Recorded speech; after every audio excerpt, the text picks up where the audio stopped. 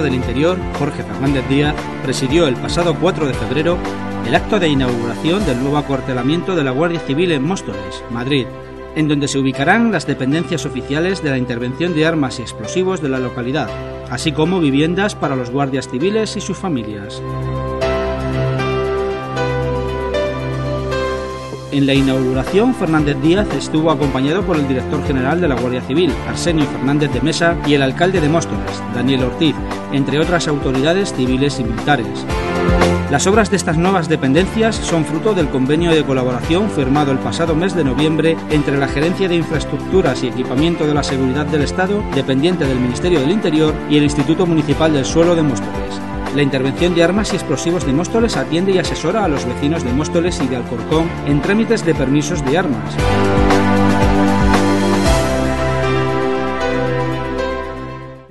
Yo creo que es mostrar mi satisfacción de un trabajo que desde hace algunos años llevamos eh, realizando con la intención de, llegar a, este objetivo, que no es ni más ni menos que eh, resolver una situación muy importante para la Guardia Civil. Si hoy es una buena noticia para la ciudad, sin duda, creo que es una gran noticia para la Guardia Civil,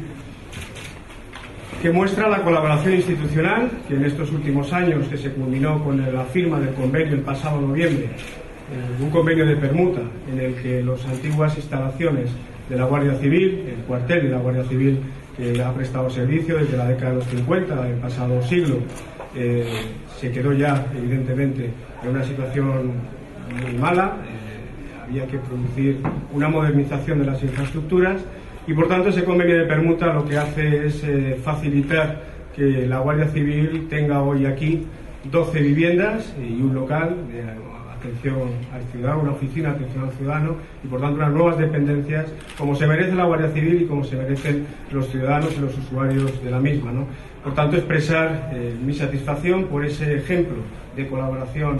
administrativa, colaboración institucional y que por otra parte también a Móstoles eh, evidentemente ese, ese convenio de permuta va a facilitar, entre otras cosas, que ese espacio donde actualmente está hoy el cuartel de la Guardia Civil pase al ayuntamiento y podamos reorganizar y urbanizar el entorno necesitado de un vial. Por tanto es una buena noticia también para, para nuestra ciudad, de manera simbólica, le entregó al ministro de la vivienda para que la Guardia Civil las pueda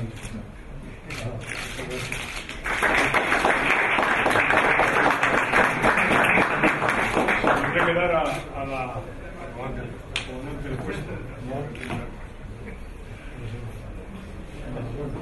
comandante del puesto. Muchísimas gracias. querido director general de la Guardia Civil, generales y oficiales y todos los miembros de la Guardia Civil aquí presentes, a ellos directamente y en primer lugar me dirijo por razones obvias felicitándoles por todo el servicio que llevan prestando en Móstoles desde ya casi los tiempos fundacionales en la Guardia Civil, en la época del Duque de Ahumada, ¿no? en el siglo, mitad del siglo XIX, y luego ya en las instalaciones que han dejado en mitad del siglo pasado. Y felicidades porque efectivamente a partir de hoy van a poder disfrutar los guardias civiles y sus familias pues de unas magníficas instalaciones, unas magníficas viviendas y unas magníficas instalaciones para prestar sus servicios. Y saludo y agradezco también de manera muy especial la presencia aquí entre nosotros de la subdelegada del Gobierno eh, en Madrid. El motivo de estar hoy aquí es mostrar en definitiva lo que reporta a los ciudadanos precisamente la colaboración institucional, que ha sido ejemplar en este caso durante los trabajos que han culminado con ese convenio de permutas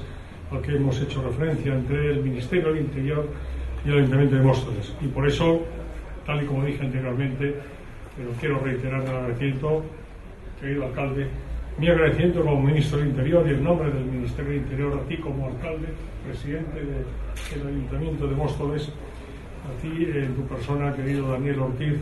pues por la magnífica disposición que en todo momento has mantenido para que esto pues se diera la luz, para que esto fuera una, realidad. Como decía, un acuerdo en el que todos salimos ganando, y todos y principalmente y fundamentalmente los ciudadanos de Móstoles que es a los que desde aquí se les va a prestar en mejores condiciones para los ciudadanos y para quienes les prestan el servicio, los guardias civiles, pues eh, su labor. Por eso salen ganando todos.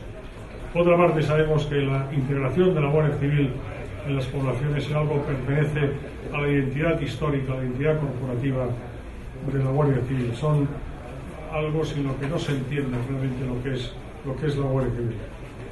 Por eso, en este acto, no quiero dejar de reconocer una vez más y públicamente las intrínsecas cualidades de profesionalidad, sacrificio, de espíritu de servicio que en todo momento acompaña a la Guardia Civil, a los hombres y mujeres que integran el cuerpo benemérito de la Guardia Civil y que lleva precisamente a que los ciudadanos reconozcan la Guardia Civil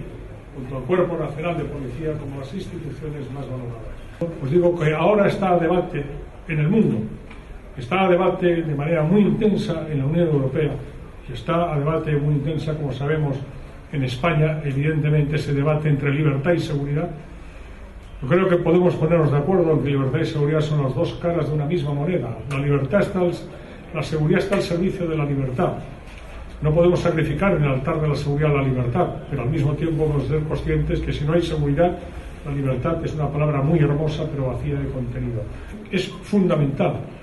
fundamental controlar las fronteras exteriores de la Unión Europea, securizar las fronteras exteriores de la Unión Europea como requisito previo para que la movilidad geográfica que eh, significa el Código de Fronteras Schengen y que está en el acervo comunitario ya muy institucionalizado, pues no se vea afectado. Una de las fortalezas de España es que el tráfico de armas y explosivos legalmente viene encomendado a la Guardia Civil. Y la gente reconoce a nivel nacional y la comunidad internacional especializada en la materia reconoce que en España todo en la vida es mejorable, por supuesto, y lo digo por tanto sin complacencia ni vanagloria, pero es una realidad que en España existe un buen control de las armas y explosivos. Y que la Guardia Civil, que es el cuerpo de seguridad del Estado, que tiene encomendada por ley esa materia, lo está realizando muy bien. Ese es uno de los elementos que contribuye de manera más eficaz a nuestra seguridad y de manera muy especial a hacer frente a la amenaza del terrorismo yihadista. La intervención de armas y explosivos de la Guardia Civil consta de 1.600, lo componen 1.600 efectivos, 1.600 guardias civiles distribuidos en más de 350 intervenciones de armas como esta que hoy reinauguramos aquí en Móstoles, que se despliegan, por tanto, por el conjunto del territorio nacional como competencia exclusiva del Estado, que ejerce a través de una institución del Estado como es la Guardia Civil,